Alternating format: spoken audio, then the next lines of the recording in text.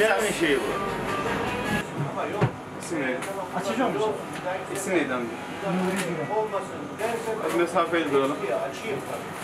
Üniversitenin son aldığı gelsin böyle. Burada da İşte bu karın altı olur.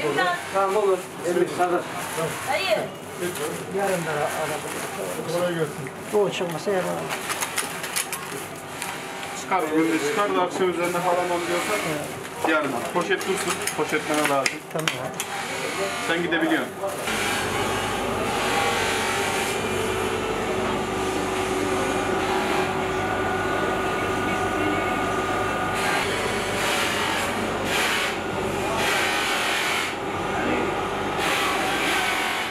Ee, burada ürettiklerimizi Türkiye'nin dört bir yanına gönderiyoruz burada.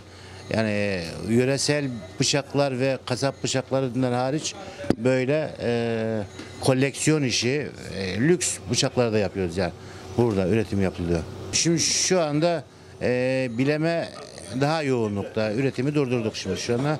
Kurbandan sonra yeni üretimler, yeni modeller onları da yapacağız.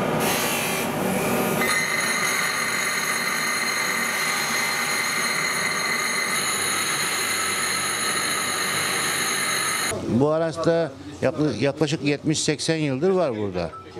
Ee, ama tabii bizim bıçak şeyimiz o, e, tam olaraktan profesyonel olaraktan 30 yıllık yani burada.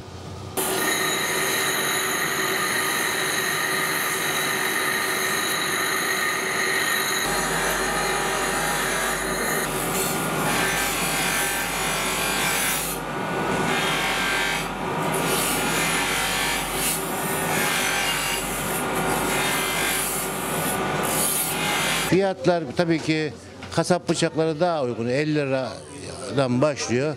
Ee, bizim yöresel ürünler 100-150 arasında değişiyor. Yöresel ürünler dediğimiz bıçaklar.